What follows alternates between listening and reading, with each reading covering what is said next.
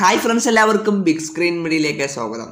ഒരു സിനിമ റിലീസാവുമ്പോൾ പലപ്പോഴും സിനിമയുടെ ഏറ്റവും വലിയ പ്രതീക്ഷ നൽകുന്ന ഘടകമാണ് ആ ഒരു ചിത്രത്തിന്റെ ട്രെയിലർ അല്ലെങ്കിൽ ടീസർ. അപ്പോൾ ആ ഒരു ട്രെയിലറിൽ കണ്ട പല മികച്ച രംഗങ്ങളും ചിലപ്പോൾ നമ്മൾ തിയേറ്ററിൽ കാണുമ്പോൾ ഉണ്ടാവണമെന്നില്ല. പലപ്പോഴും സിനിമകൾ ചിത്രീകരിക്കുമ്പോൾ പല മികച്ച രംഗങ്ങളും എഡിറ്റിംഗ് ടേബിളിലേക്ക് വരുമ്പോൾ പ്രധാനമായും സിനിമയുടെ ലെങ്ത് കൂടുന്നത് കൊണ്ട് അവർക്ക് തന്നെ ഒഴിവാക്കേണ്ടതായിട്ട് വരുന്നുണ്ട്. എന്നാൽ സിനിമയുടെ അണിയറ പ്രവർത്തകർ ആ ഒരു രംഗങ്ങളെ ട്രെയിലറിലോ ടീസറിലോ ഉൾപ്പെടുത്താറുണ്ട്.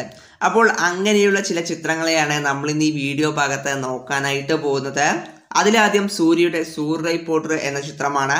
ഒ ടി ടി റിലീസായിട്ടാണ് ഈ ഒരു സിനിമ എത്തിയത് എങ്കിൽ പോലും വലിയ രീതിയിൽ തന്നെ സിനിമ ശ്രദ്ധിക്കപ്പെട്ടിരുന്നു. അപ്പോൾ ചിത്രത്തിന്റെ ട്രെയിലർ പുറത്തിറങ്ങിയപ്പോൾ ഹൈലൈറ്റ് ആയിരുന്നത് സൂര്യയുടെ സ്മോക്കിംഗ് സീനായിരുന്നു നേരത്തെ ഇനി സൂര്യ സ്മോക്കിംഗ് സീനിൽ അഭിനയിക്കുന്നില്ല എന്ന് പറഞ്ഞിരുന്നു.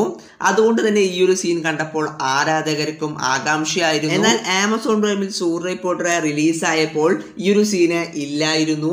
ഇതിന് കാരണം സൂര്യ ഒരു മിലിറ്ററി ഉദ്യോഗസ്ഥന്റെ നേർക്ക് സ്മോക്ക് ചെയ്യുന്നത് സെൻസർ ബോർഡ് കട്ട് ചെയ്തതാവാം. ഈ അടുത്ത ചിത്രം ലോകേഷ് കനരാജിന്റെ സംവിധാനത്തിൽ വിജയ് നായകനായി എത്തിയ മാസ്റ്റർ എന്ന സിനിമയാണ്. അതിലെ ടീസറിലെ ഈ ഒരു സീൻ ഒന്ന് നിങ്ങൾ കണ്ടു നോക്കൂ. അപ്പോൾ ഈ ഒരു സീനിൽ വിജയ് ഗൗരിയുടെ കൈപിടിച്ച് പോകുന്ന രംഗമാണ് ഉള്ളത്.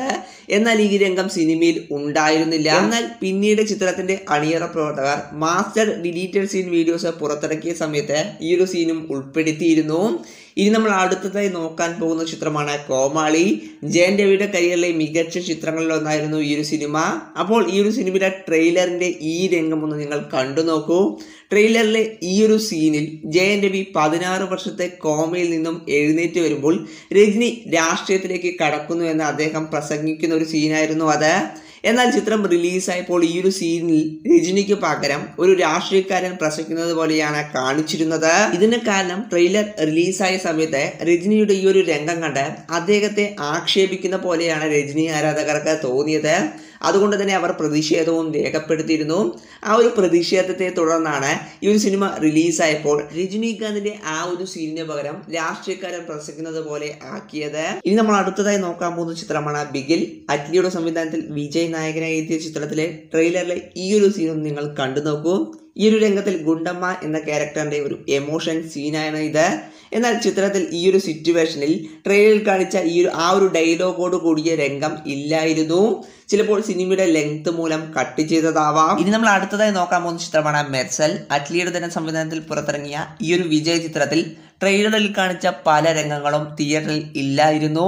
അപ്പോൾ അതിൽ ആദ്യം നമ്മൾ നോക്കാനായിട്ട് പോകുന്ന സീന് വിജയ് ഒരു പ്രാവിനെ കയ്യിൽ പിടിച്ചു നിൽക്കുന്ന സീ ഈ ഒരു സീനാണ് അപ്പോൾ തിയേറ്ററിൽ വന്നപ്പോൾ ഈ ഒരു സീന് ഇങ്ങനെയായിട്ട് മാറി. ഇനി ഈ ഒരു രംഗം ഒന്ന് കണ്ടു നോക്കൂ. വിജയ് മാജിക് ഷോ നടത്തി. ഹരീഷ് പേരാടിയെ കൊല്ലുന്ന ഒരു രംഗം സിനിമയിലുണ്ട്. അപ്പോൾ അതിനുശേഷം വിജയ് അവിടെ നിന്നും രക്ഷപ്പെടുന്നതിനിടയിൽ ശരിക്കും ഒരു ഫൈറ്റ് സീൻ ഉണ്ട്. അപ്പോൾ അതിലെ ഒരു രംഗമായിരുന്നു ട്രെയിലറിലെ ഈ ഒരു സീനിൽ നമുക്ക് കാണുവാനായിട്ട് സാധിച്ചിരുന്നത്. എന്നാൽ ഈ ഒരു സിനിമ തിയേറ്ററിൽ എത്തിയപ്പോൾ ആ ഒരു ഫൈറ്റ് സീൻ തന്നെ അണിയറ പ്രവർത്തകർ കട്ട് ചെയ്തിരുന്നു. ഇനി മെർസൽ മൂവിയുടെ ട്രെയിലറിലെ രണ്ട് സീനുകൾ ഞാൻ പറയാം. ഒന്ന് വിദേശത്തെ രണ്ട് കുതിരകളെ രഥത്തിൽ വരുന്ന ഒരു സീനാണ്. എന്നാൽ ഈ ഒരു സീന് സിനിമയിൽ ഉണ്ടായിരുന്നില്ല. അതുപോലെ തന്നെ ആ ഒരു സീക്വൻസിന്റെ തുടർച്ചയായിട്ടുള്ള ഒരു സീനായിരുന്നു ഇത്.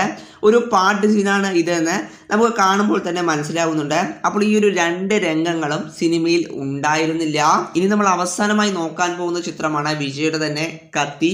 എ ആർ മുരുകദാസിന്റെ സംവിധാനത്തിൽ റിലീസായ കത്തിയുടെ ട്രെയിലറിൽ ഫസ്റ്റ് കാണിക്കുന്ന ഈ ഒരു സീൻ തന്നെ സിനിമയിൽ ഉണ്ടായിരുന്നില്ല.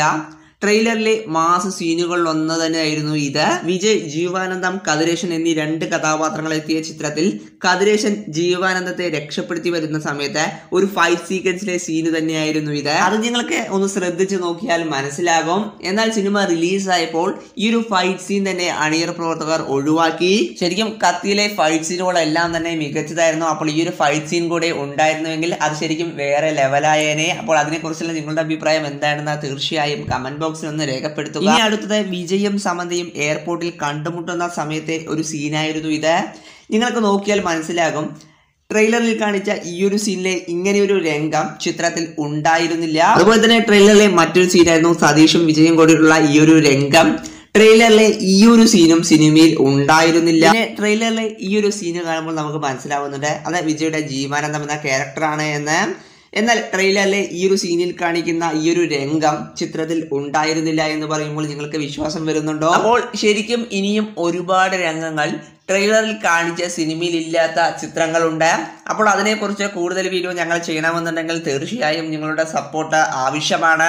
അതുകൊണ്ട് തന്നെ ഈ ഒരു വീഡിയോ എല്ലാവർക്കും ഒന്ന് മാക്സിമം ഷെയർ ചെയ്ത് സപ്പോർട്ട് ചെയ്യുക.